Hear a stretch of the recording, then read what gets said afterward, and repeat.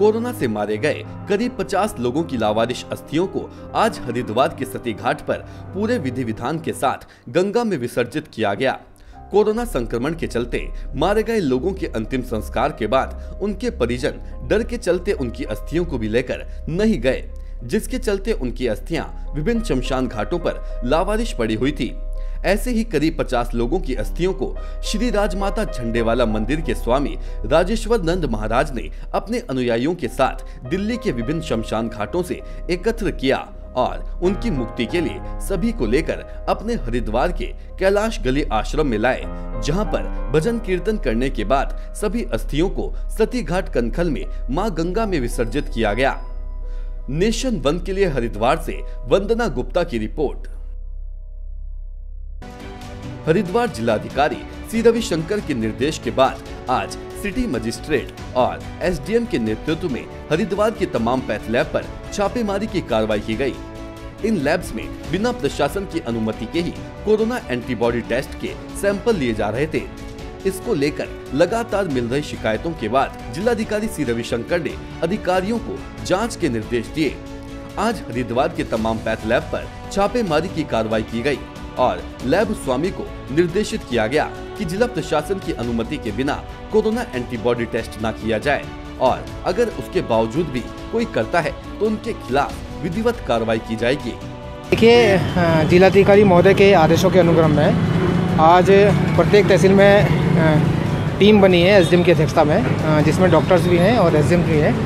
तो उसमें डीएम साहब के आदेश ये हैं कि जितने भी हमारी पैथोलॉजी लैब है उनका इंस्पेक्शन किया जाए और उसमें ये देखा जाए कि वो कौन कौन पैथोलॉजी डेंगू की जाँच कर रहे हैं कौन कौन पैथोलॉजी कोविड की जाँच कर रहे हैं या अन्य जांचें कर रहे हैं। तो उसी के क्रम में आज हम लोग शिवालिक नगर से लेके यहाँ ये कार्रवाई चल रही है और प्रत्येक पैथोलॉजी में जाके इनके जो रजिस्टर वगैरह है उसको भी चेक कर रहे हैं और इनसे पूछा भी जा रहा है। यहाँ पे हम लोग अब इसमें अपनी रिपोर्ट भेजेंगे कि ना तो इन्होंने सीएमओ से अप्रूवल ली है, ना हम डीएम सर से अप्रूवल ली है कोविड टेस्ट के लिए। तो ये जाँच का विषय है और इसकी रिपोर्ट हम प्रेषित करेंगे। और अभी तक जो हमने जो भी पैथोलॉजी है, हमने चौदह पैथोलॉजी की जाँच की है। और चाहे वो अस्पताल हो चाहे ये पैथोलॉजी हो तो टोटल अभी चौदह हमने इंस्पेक्शन किए हैं। इनका कहना ये है कि जो लाइफ सेल है, उससे हमारा एमयू है और वो हर जगह ये कोविड के टेस्ट ले रही है सैंपल ले रही है। सैंपल कलेक्शन करने के बाद ये उनको लाइफ सेल को ही भेज रहे हैं। तो फ़िलहाल तो इनको ये बताया गया है कि यहाँ पे जो आपकी लैब वगैरह है वहाँ पे पोस्टर वगैरह लगाया जाए और इमीडिएटली सीएमओ साहब से इस, इस संबंध में वार्ता की जाए अप्रूवल ली जाए तब तक कोई कोविड टेस्ट ना किया जाए। नेशन बंद के लिए हरिद्वार से वंदना गुप्ता की रिपोर्ट। धर्मनगरी हरिद्वार के कंकल थाना क्षेत्र स्थित जियापोता गाँव में देर रात हुए खूनी संघर्ष में कई लोग घायल हो गए। चाउमीन की दुकान पर दो पक्षों में हुई मामूली कहासुनी ने मारपीट का रूप अख्तियार कर लिया, जिसके बाद एक पक्ष के लोगों ने दूसरे पक्ष के घर में घुसकर जमकर उत्पात मचाया। लाठी डंडों से लैस लोगों ने घर में मौजूद महिलाओं, बच्चों के साथ भी मारपीट की। मारपीट का ये वीडियो सोशल मीडिया पर वायरल हो रहा है। वहीं आज भारी संख्या में स्थानीय ग्रामीणों ने कनकल थाने क्षेत्र में पहुंचकर दोषियों की गिरफ्तारी की मांग की। पुलिस द्वारा इस मामले में मुकदमा दर्ज कर लिया गया है और पुलिस इस मामले में जाँच की बात कर रही है। आ, मामला यह है कि जयपोता गाँव में रात लगभग साढ़े दस ग्यारह बजे के आसपास भीम आर्मी के कुछ गुंडा तत्व एक साथ 20-25 की संख्या में टूट पड़े घर पर और लगातार उन्होंने मार पिटाई की, महिलाओं को बुरी तरीके से पीटा। उसका वीडियो भी सामने आया है। और भारी तरीके से पूरे परिवार को पीटा गया गंभीर चोटें आई हैं। देखिए, रात को सवा दस, साढ़े दस बजे के बीच में थाने पर एक सूचना आई थी कि जिया पोथा में दो पक्षों के बीच में लड़ाई झगड़ा हो गया है।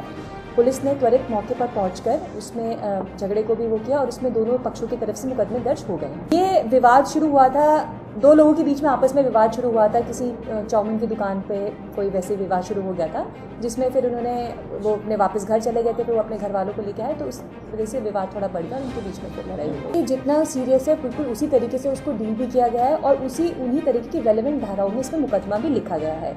और जैसे जैसे तथ्य सामने आएँगे अरेस्टिंग भी उस हिसाब से इसमें कर लेंगे अभी देखिए जाँच चल रही है इसमें, फिर जैसे जैसे इन्वेस्टिगेशन में मामले सामने आएँगे, हमारे पास एक वो जो वीडियो थी, वो भी आई है, उसको भी पूरा वेरीफाई प्रॉपरली करके उस हिसाब से इसमें हम लोग कार्रवाई करेंगे नेशन वन के लिए हरिद्वार से वंदना गुप्ता की रिपोर्ट।